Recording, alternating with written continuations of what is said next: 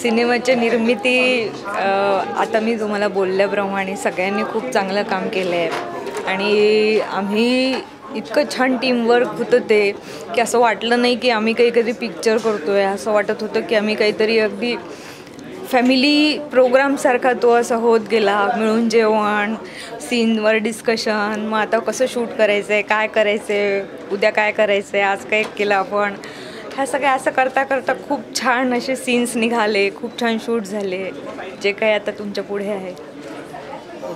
किती थिएटरमध्ये लावण्याचा तुमचा? आतापर्यंत ऐंशी हा आकडा फिक्स केलेला आहे.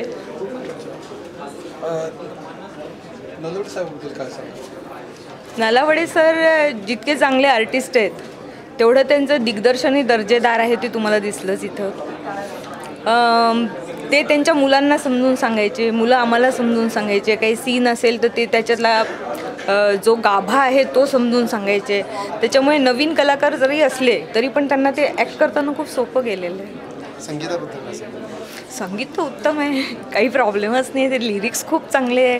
आणि ह्यांनी मला वाटतं फक्त मला वीस दिवसात ही तीन गाणी बनवून दिलेली आहे. शेवटचं जे त्यांना मिक्सिंग करायचं होतं ते दिवाळीचा दिवस होता. त्या दिवाळीच्या दिवशी या लोकांनी जाऊन काम केलेलं एवढं मला आठवतं. खूप कमी वेळात अतिशय सुंदर गाणी यांनी मला दिलेली आहेत. हा विषय निवडावा का वाटला तुम्हाला? हा विषय निवडावा का वाटला? असं आहे ना की ह्याच्यावर भाष्य करायला खूप डेअरिंग लागतं.